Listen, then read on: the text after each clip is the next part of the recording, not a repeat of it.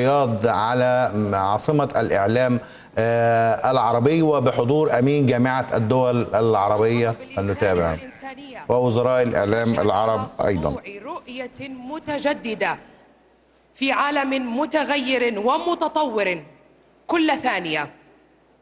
في اللحظة الأولى التي أراد الإنسان أن يقول شيئا ما اخترع الكلمة التي أصبحت بمرور الأزمنة.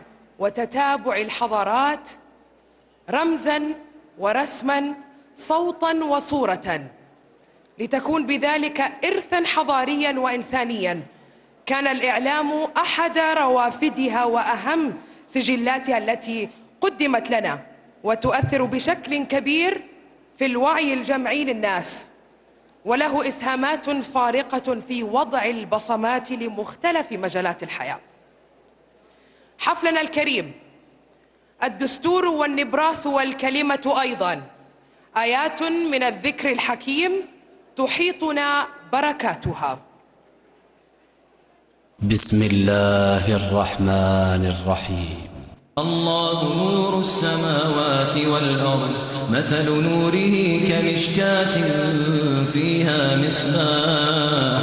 المصباح في زجاجة الزجاجة كأنها كوكب دري يوقد من شجرة مباركة زيتونة لا شرقية ولا غربية. يكاد زيتها يضيء تمسسه نار. نور على نور. نور على نور. يهدي الله لنوره من يشاء. ويضرب الله الأمثال للناس والله بكل شيء عليم.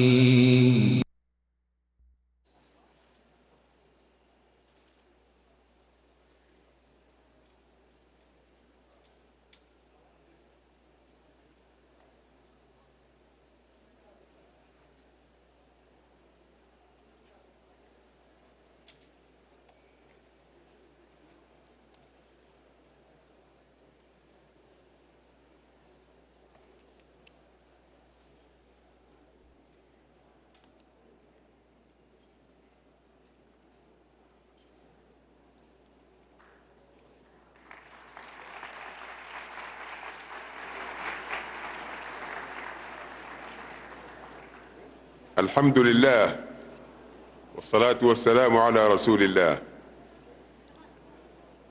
كانت البداية عبر الأثير وكان الصوت يبدأ بسم الله الرحمن الرحيم. وعبر عقود من الزمن كنا نأنس بصحبتكم عبر برامج تزور أسماعكم وأرواحكم. كان الأثير قصة جميلة يجوب صداه بيوت مملكتنا الحبيبة ناقلا أخبار الدولة ومراحل التأسيس. والليلة هذه الليلة المباركة امتداد جميل لمستقبل واعد في عهد خادم الحرمين الشريفين الملك سلمان بن عبد العزيز. وولي عهده الأمين الأمير محمد بن سلمان بن عبد العزيز. شكرا معالي الدكتور عواد العواد وزير الإعلام. شكرا من الأعماق من زملائي من هذا الجيل الجميل الذي هو امتداد لهذا الجيل الواعد الطيب لمستقبل زاهر لبلادنا الحبيبة في ليلة أنس جميلة والمملكة والرياض العاصمة هي عاصمة الإعلام العربي. والسلام عليكم ورحمة الله وبركاته.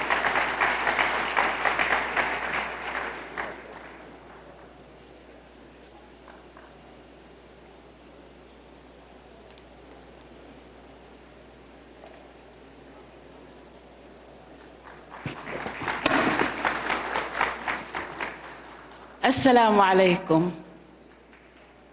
والرحمة والبركات. ولجيلنا الذهبي أحلى التحيات. نعم نتذكر البدايات. وأتذكر انطلاقة الصوت النسائي في الستينيات. وتذكر الفوازير وبرامج الأسرة والحكايات. وتذكر نشرات الأطفال وبابا عباس واليوميات. كنا كنا الصوت كنا نصافحكم وكان الفضاء جسر محبتنا إليكم. دمتم.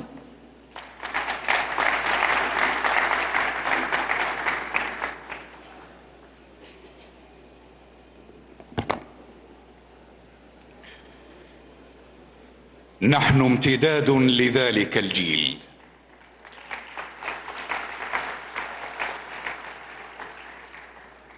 كل صباح نطل عليكم لننقل الخبر نزف البشرى نرسم ملامح أمر ملكي نعلن وداعا ونطرح توصية. كنا حلقة الوصل منكم وإليكم.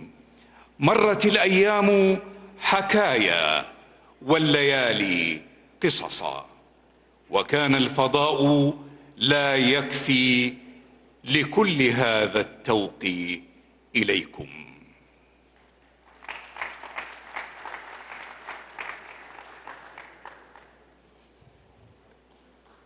وفي اتساع الفضاء في اتساع الفضاء وفي عصر البرامج وفي ظل التنافس المحموم لكسب العقول والقلوب انطلق سباق المشاهدين. ضيوف سباق المشاهدين جاءونا من كل الدول العربية. أما جائزتنا الكبرى فهي أنكم أنتم نجوم سباق المشاهدين. سباق المشاهدين برنامج أنتم نجومه.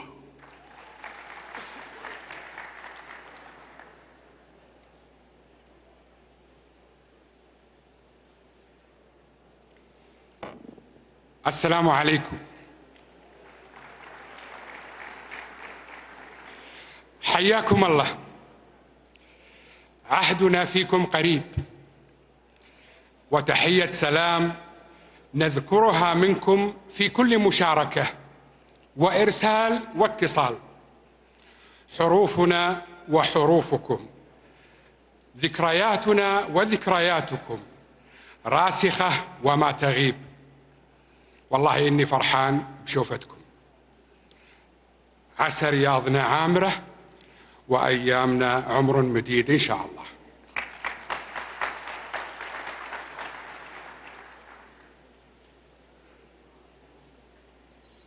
شكرا لكم. بكم تكونت ذاكرتنا ومنكم تعلمنا وعلى خطاكم سنسير في دروب الإعلام اليوم. شكرا لكل ما قدمتموه لإعلامنا. شكرا لجيل الإذاعة والتلفاز الذهبي.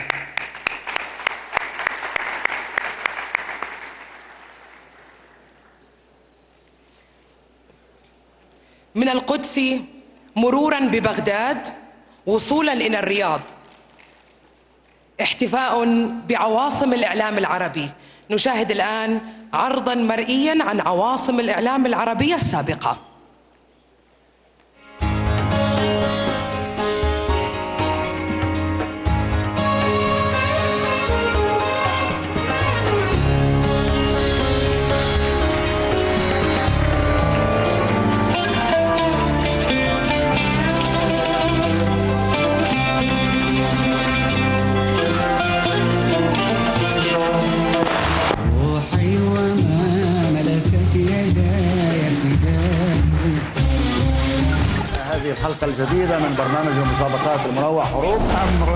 ملكي الرقم ألف تقسيم 224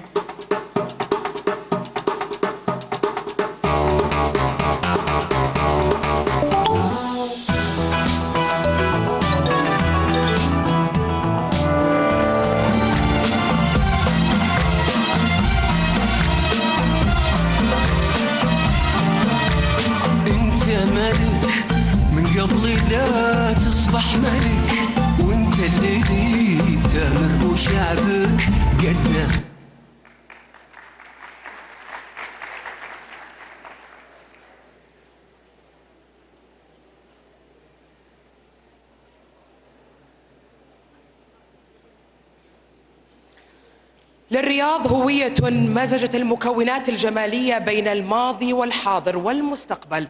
عروس الصحراء ونديمة السماء. الرياض عاصمة الإعلام العربي.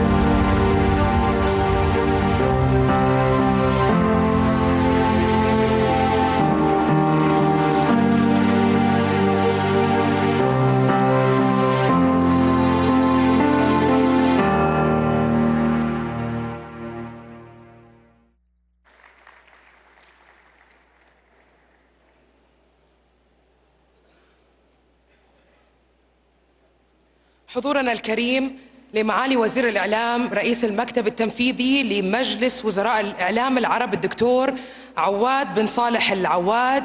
كلمة يلقيها فليتفضل معاليه.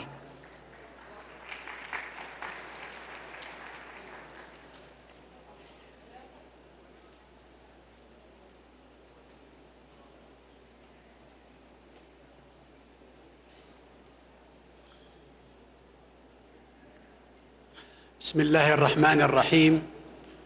والصلاة والسلام على أشرف الأنبياء والمرسلين سيدنا محمد وعلى آله وصحبه أجمعين. أصحاب المعالي والسعادة سيدات والسادة الحضور الكرام السلام عليكم ورحمة الله وبركاته. يسعدني, يسعدني بداية أن أرحب بكم أجمل ترحيب في بلدكم الثاني المملكة العربية السعودية. وأن أنقل لكم تحيات سيدي خادم الحرمين الشريفين الملك سلمان بن عبد العزيز وسمو ولي عهده الأمين الأمير محمد بن سلمان بن عبد العزيز حفظهم الله وتمنياتهما للقائنا هذا ولهذا الحفل بالنجاح الكبير بإذن الله تعالى. كما يسرني أن أشكركم جميعا ضيوفنا الكرام على قبول دعوتنا بمشاركتنا في اختيار الرياض عاصمة للإعلام العربي عام 2018 2019.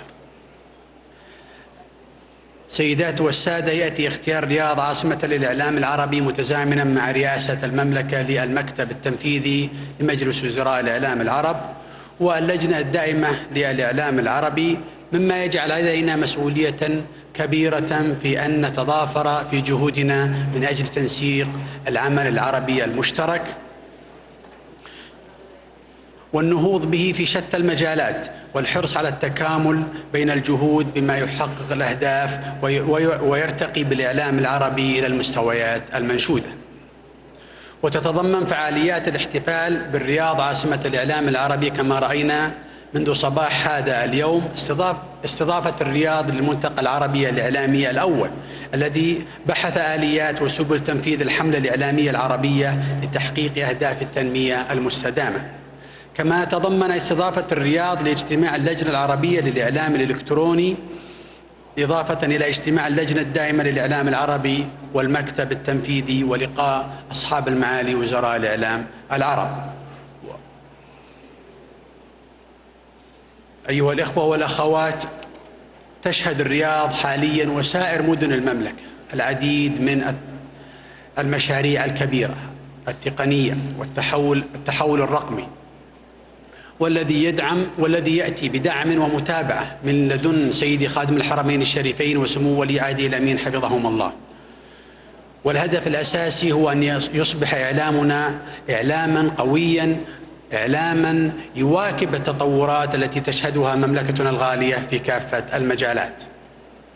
أصحاب المعالي إن تطوير الإعلام العربي يعد ضرورة ملحة أمام ما يتعرض له المتلقي العربي اليوم من حملات تضليل تستهدف السيطرة على تفكيره وتشويه صورة تاريخنا المجيد وأمتنا العربية والإسلامية لصالح أجدات لا تحمل الخير لأوطاننا ولشعوبنا. لذلك فإن تقنين وتحديث ميثاق الإعلام ميثاق الشرف الإعلامي العربي أمر ضروري جدا. والذي أقره المكتب التنفيذي لمجلس وزراء الإعلام العرب في دورته التاسعة العام الماضي. ويحتم علينا أن يحمل في بنيته الخلق والأمانة وهما سمات للعربي الصادق والمسلم الأصيل فمن هنا من الرياض عاصمة المملكة العربية السعودية بيت العرب الكبير وبمناسبة اختيارها عاصمة للإعلام العربي فإنها تدعو الإعلام العربي برمته لتوحيد رسالته السامية وأهدافه النبيلة من أجل بناء, بناء وتنمية أوطاننا ومجتمعاتنا العربية. لتنعم بحياة كريمة آمنة وننشر ننشر من خلالها والتعايش وننبذ كل ما يخالفها ويساعد على إذكائها وتأجيجها. كما ندعو إلى التصدي إلى مواجهة التحديات التي تحيط بنا بالعمل المشترك العربي والتنسيق الدائم لمواقفنا ومن أهم هذه التحديات العمل لمكافحة الإرهاب والتطرف بجميع أنواعه. وهذا ما يندرج ضمن الأدوار المحورية التي يطلع بها مجلس وزراء الإعلام العرب. ختاما فإن الكلمة النزيهة والصادقة في وسائل الإعلام المختلفة هي مسؤوليتنا تجاه مجتمعاتنا وشعوبنا لبناء أوطاننا وعلينا أن نستشعرها ونعمل سويا على تحقيقها بالتعاون المشترك. كما أنه لا يفوتني أيضا قبل أن أختم هذه الكلمة أن أشكركم أي أصحاب المعالي والسعادة حضورنا الكرام من كل من كل العالم العربي لمشاركتنا في هذا اليوم الجميل واحتفالنا بالرياض عاصمة للإعلام العربي والسلام عليكم ورحمة الله وبركاته.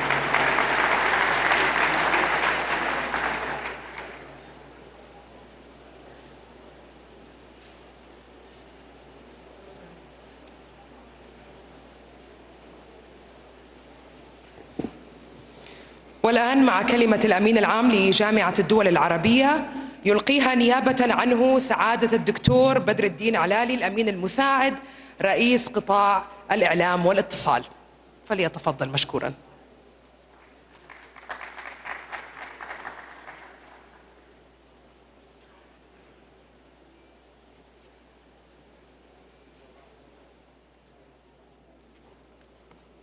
بسم الله الرحمن الرحيم.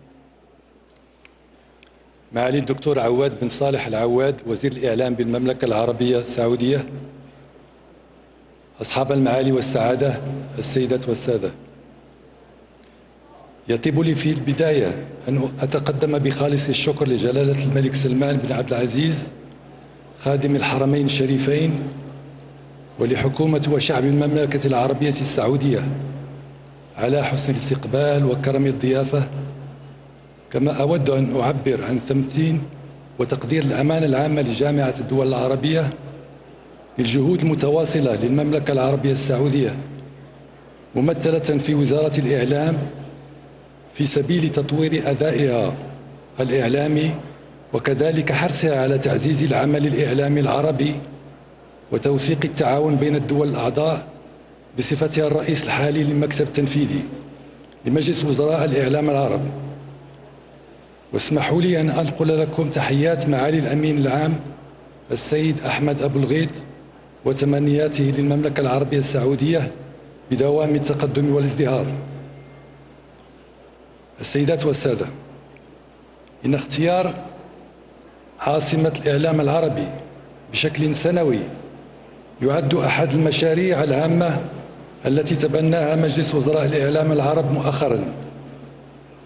ليكون بمثابة تقدير وتكريم للدول الأعضاء في الجامعة التي حققت إنجازات ملموسة في مجال الإعلام وتكرس جهودها لتطوير أدائها الإعلامي. لكي يواكب التطورات الحديثة ولكي يشغل موقعا متميزا على ساحة الإعلام العالمي. إن هذا الجمع المتميز من الحضور والذي يضم معالي السادة وزراء الإعلام العرب. ونخبة من رموز الإعلام العربي. يشارك اليوم في الاحتفال بتتويج مدينة الرياض عاصمة الإعلام العربي بعد اختيار مجلس وزراء الإعلام العرب في دورته العادية 49 لها. تقديرا لما تقوم به وزارة الإعلام السعودية لتطوير الإعلام بكل أجهزته المكتوبة والمرئية والمسموعة. ولحرصها على تقديم رسالة إعلامية ذات مضمون متحضر ومعاصر.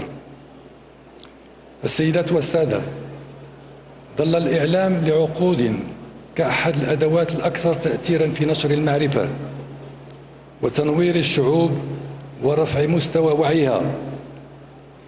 وقد ساعد التطور التكنولوجي الهائل في تطوير وسائل الحصول على المعلومة أو الخبر لتصبح أكثر سهولة وسرعة وليصبح الإعلام هو الوسيلة الأسرع في نقل المعلومات للشعوب في مختلف أنحاء العالم. وعلى مدار السنوات الأخيرة والتي شهدت تطورات وتغيرات سياسية واجتماعية واقتصادية في بقاع مختلفة من العالم ظهر للإعلام أدوارا أخرى إلى جانب دوره الأساسي فبات وسيلة للتغيير وتحريك الرأي العام لصالح القضايا التي تعنى بها الشعوب. وعلى الرغم من أهمية هذه الأدوار الأخرى إلا أنها جعلت من الإعلام سلاحا ذو حدين.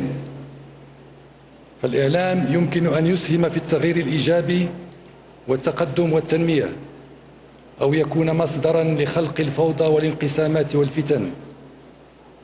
لذا كلما زادت الأدوار المنوطة بالإعلام زادت الأعباء والمسؤوليات الواقعة على عاتق المسؤولين على الإعلام ووسائله المختلفة في التحقق من الرسالة التي يقدمها الإعلام ومضمونها وأهدافها. السيدات والسادة إن الأمانة العامة لجامعة الدول العربية تحرص على دعم وتعزيز العمل الإعلامي العربي المشترك وذلك انطلاقا من قناعتها التامة بالدور الحيوي للإعلام كوسيلة للتنوير والمعرفة والرقي وبناء الجسور بين شعوب الوطن العربي. ومن هذا المنطلق أصدر مجلس وزراء الإعلام العرب العديد من القرارات والوثائق والمشاريع التي من شأنها تطوير الإعلام العربي وتقدير الكفاءات الإعلامية العربية المتميزة وتعزيز التعاون الإعلامي العربي بين الدول الأعضاء في الجامعة.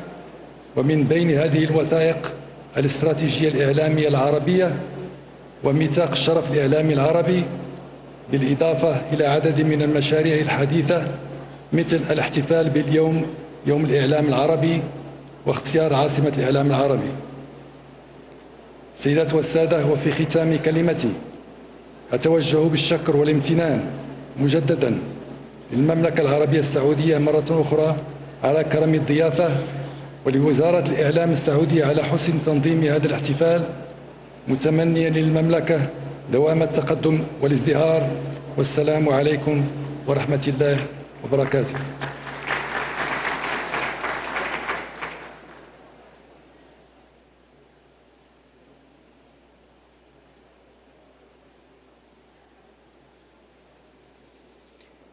للرياض شعاع متقد. وبريق لا يخفت. تعبر به العالم تاركة في كل مكان ضوءا وصوتا لا يسكن. للرياض ليل وأغنية. أنتجت خصيصا لهذه المناسبة من مركز التواصل الحكومي.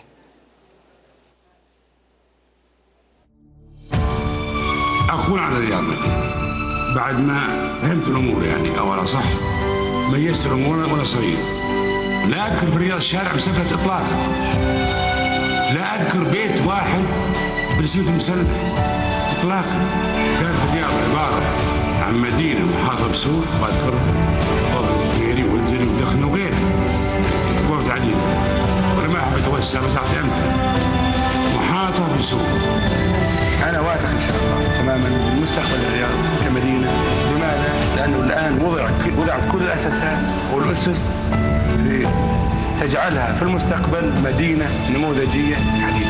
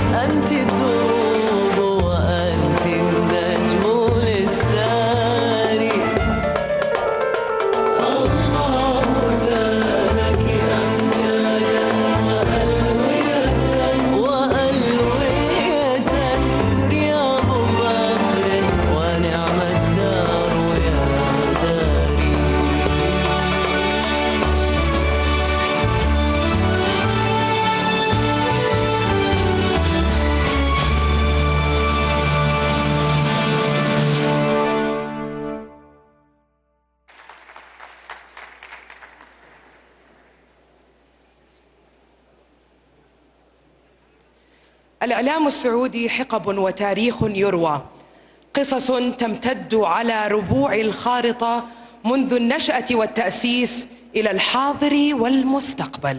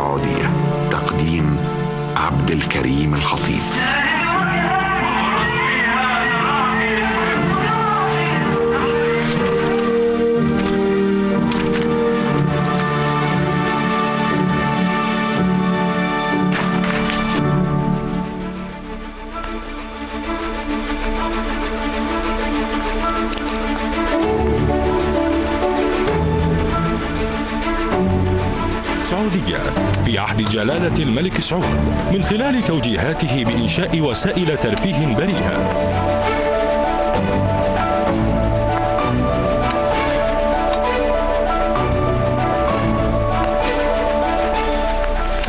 إذاعة المملكة العربية السعودية. إذاعة نداء الإسلام من مكة المكرمة.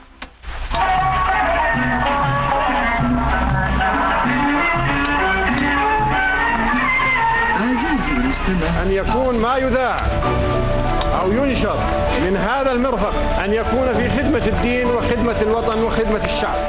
كان ميلاد وكالة الأنباء السعودية بوصفها أول لبنة مهمة في وتنمية القوى البشرية بالأولوية الأولى على المستوى الوطني. لها جذور عميقة في بناء الدولة السعودية الحديثة على يد المؤسس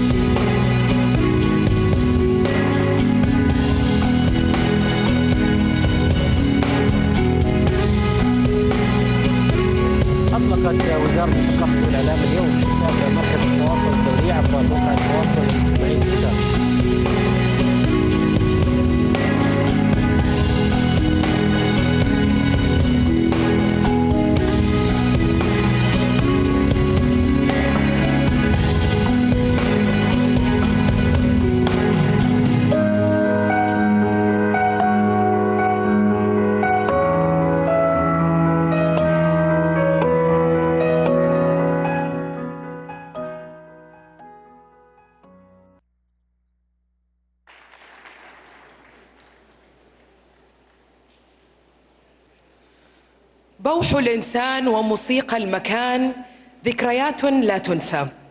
نترككم الآن مع لحظات من ذاكرة الإعلام السعودي.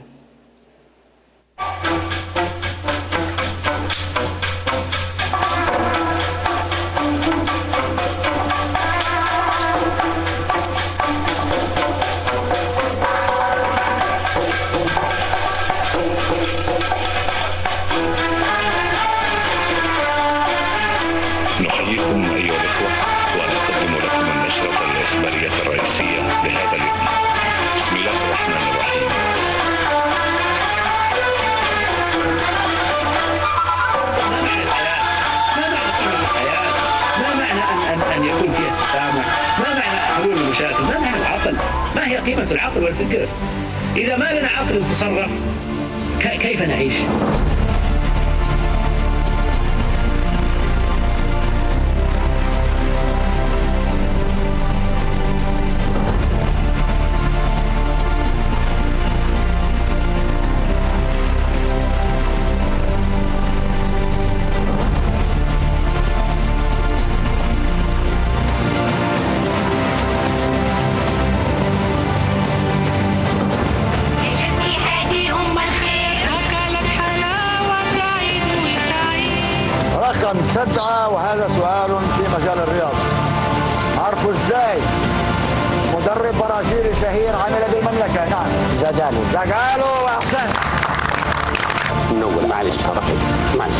كم يضرب حمام؟ واحد أجل كم؟ اثنين. أجل كم؟ ثلاثة. أجل كم؟ أربعة. أجل كم؟ خمسة. آه لا لا. يا رجال ولا بلعب. تحبون اللعب أنتم يا شباب. ماشي سعيد. ماشي سعيد. ماشي كورة سعيد. بيحاول يعدي. واحد اثنين. هيصلحها هيصلحها.